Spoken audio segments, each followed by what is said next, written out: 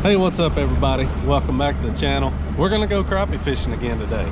Um, you guys seem to be enjoying the crappie videos and I'm certainly enjoying making them. Man, these fish, they've been biting pretty good. The past, the past few times I've been, they've been biting pretty darn good. So, you know, I don't really have a set game plan today. I just wanna go out here and catch some and try to figure it out. Every single day is different. You know, the fish will be in different depths every day.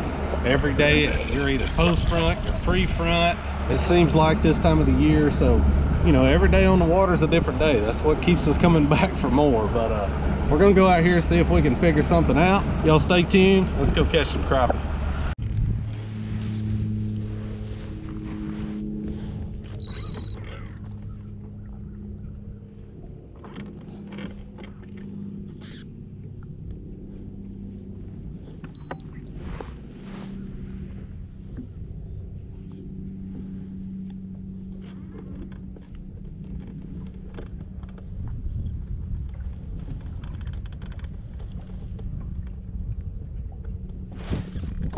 Fish.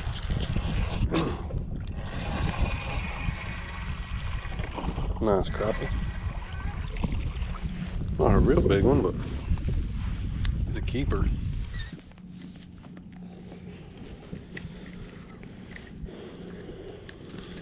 I've had a hard time so far today. Pretty little fish. I uh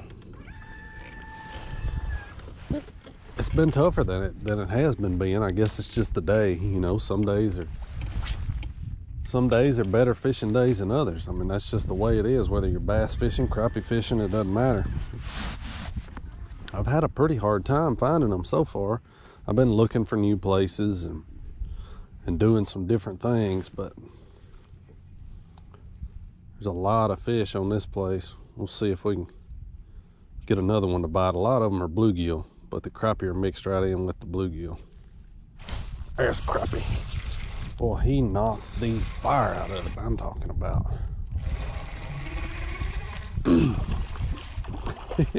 come up and jump like a bass. Oh, he come off right at the boat. Mm. I got the best out of him anyway. He was a pretty nice one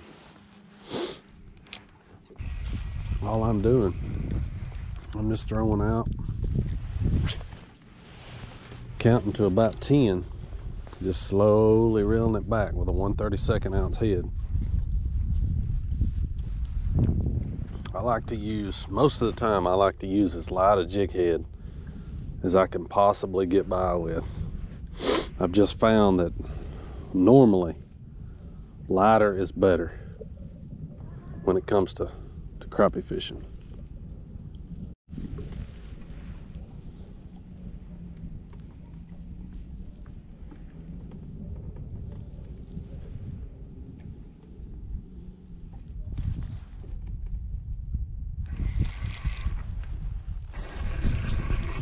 I've got one. I'm gonna be honest with y'all, I didn't even know that was a fish. I thought I thought I was hung up. It's a dang good one too. That's crazy. Look at there. That's wild. I pulled back on it. I didn't feel anything. He never thumped. Never did anything. Thank you, buddy. I had no idea I had one. He just, just kind of sat down on it. You can tell it's just one of those days that they're just not real, real active. But, I mean, that's okay. You can still catch a few. So that's what we're gonna try to do.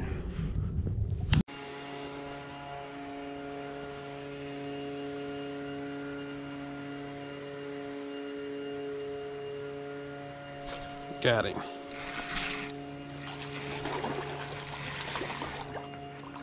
Nice one too. Get up in here. I've got some fish on a boat dock right here. That's a pretty one. Look how thick that fish is. I'm gotten real close to them.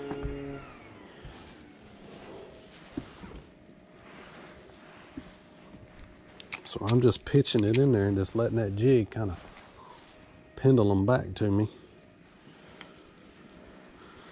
And it worked on that one. Let's see if it'll work again. Using a little bit longer rod right here. I'll tell you a little more about this setup in just a second. Moved on me just a little bit. What I'm using right here. I was looking through my my stuff in my shop this morning. I forgot I had this rod. It's a seven foot medium light action Bass Pro Crappie Maxx. I've had this one for a long time also. Um, but it's more of like a, a jig pole style rod. A little bit longer. And it's a good feeling little rod. When I get around these docks, a lot of times I'll use it.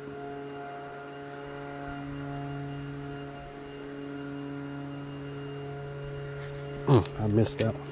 Because that extra length sometimes helps you around these docks.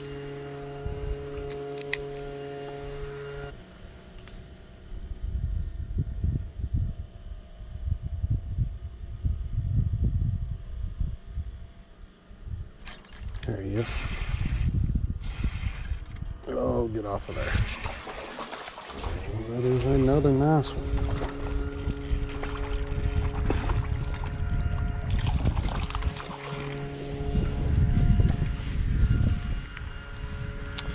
Definitely some fat ones in that school. Pretty fish.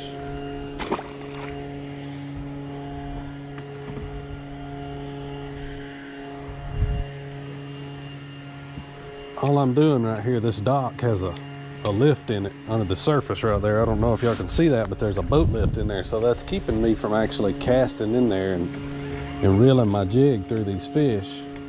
So all I'm doing, I'm just pitching my jig in there and just letting it fall. Um, and when I catch one, I've got to get him up out of all that metal. So it's sort of risky business, but there's definitely a pile of them in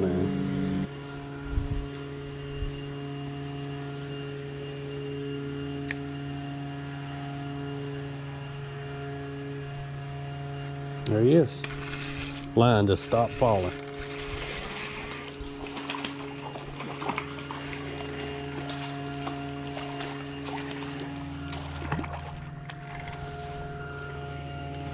Another good one.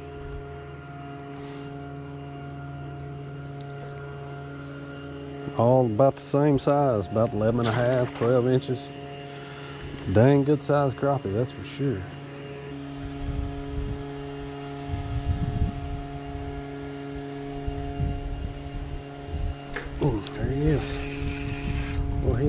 Fire out of it.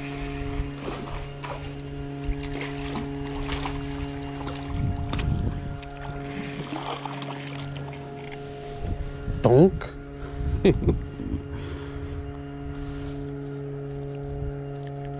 you gotta love that. That's fun right there now. Hard to get to, not easy. A lot of people would never even try that. But if you're going to be a crappie fisherman, you're going to have to you're going to have to get used to putting your jig in places that other people don't try, that other people don't think to put it.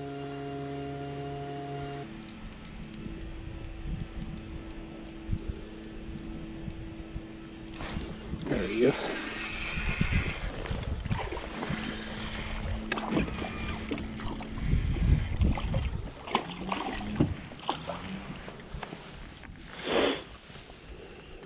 Starting to bite a little bit better now. This morning it was pretty doggone tough, but I'm getting getting a few bites now. About midday, about 12:30. You'll have times, you know, it's just cold water fishing, but especially crappie fishing, you're going to have times when they're going to bite better certain parts of the day kind of the way it is.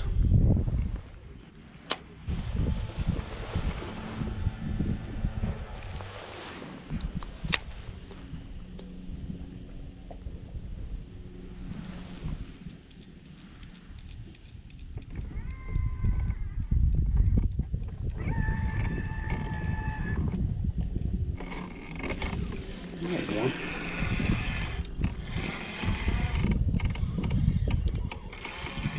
He's giving me a fit. I don't know how big he is. Oh, yeah, he's a good one.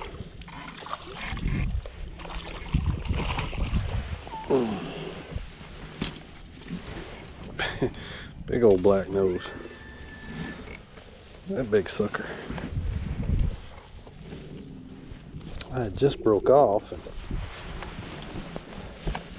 I changed colors. Went to a chartreuse and blue one.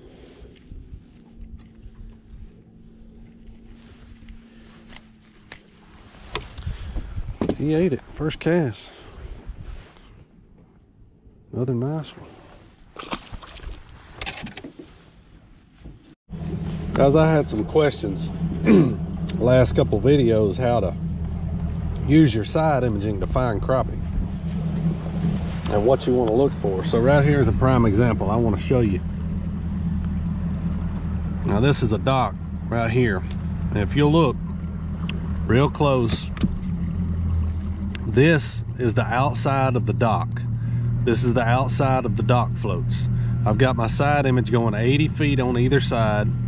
All right, so this is the very outside edge of the dock. This is where my boat is right here in the middle. So I can tell that those fish are right under this dock. There's a laydown coming off this right-hand side of this dock, uh, the side that I went past last. And then those, all those little dots that you see under there, there's a little school of crappie right here. Here's a school of crappie right here. That's what you want to look for. I mean, that's that's definitely what you want to see. And then you can spin around and you can kind of feel your way around under that dock um, if you don't have forward facing sonar if you have forward facing sonar like Lowrance active target um, or one of the other ones then you can just pan under there and see where they are and see where you need to cast but if you don't have that just cast in there make a few casts see where you get bit at and then you'll know where the fish are. So hopefully that uh, that answers a few questions. We'll, i'm going to do a video more in depth about that but that's just a quick little tip. I just wanted to throw that in there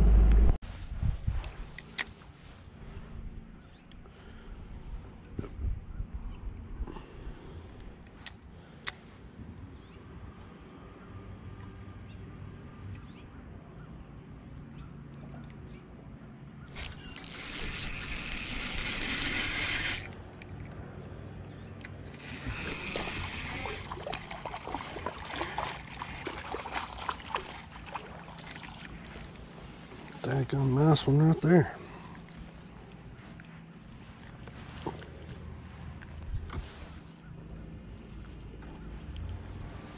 Pretty one.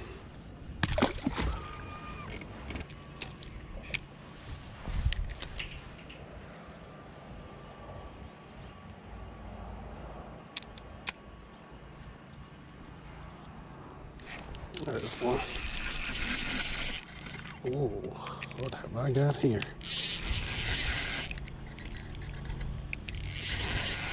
That is a big one.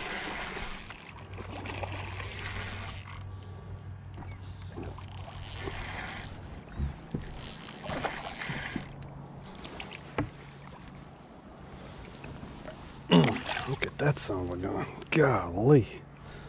Boy, he wanted it too. Check that out. Gosh.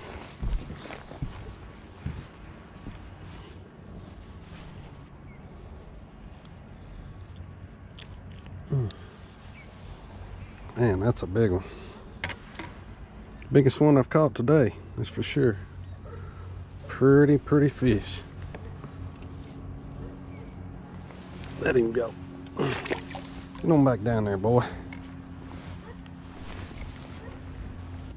All right, everybody, that's gonna wrap it up for today. Hey, I appreciate you guys watching, as always. We had a fun day.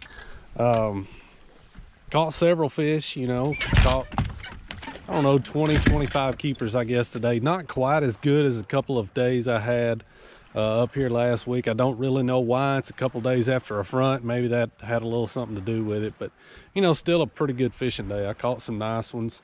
Uh, just didn't come easy. I had to fight for it a little bit today. But sometimes that's fishing. I mean, that's how it goes. We all have days where it comes easy. we all have days where we really have to work for it. So, uh, you know, I hope you learned a little something. I hope you enjoyed. I'm really enjoying doing this deal. So uh, I appreciate all the ones that have subscribed. Tell all your buddies about the videos. I just want to keep growing this thing, man. So we'll see where it goes. Hey, I appreciate y'all watching. Hit that subscribe button. Turn on that notification bell. I'll see you next time right here. Brandon Lester Fishing.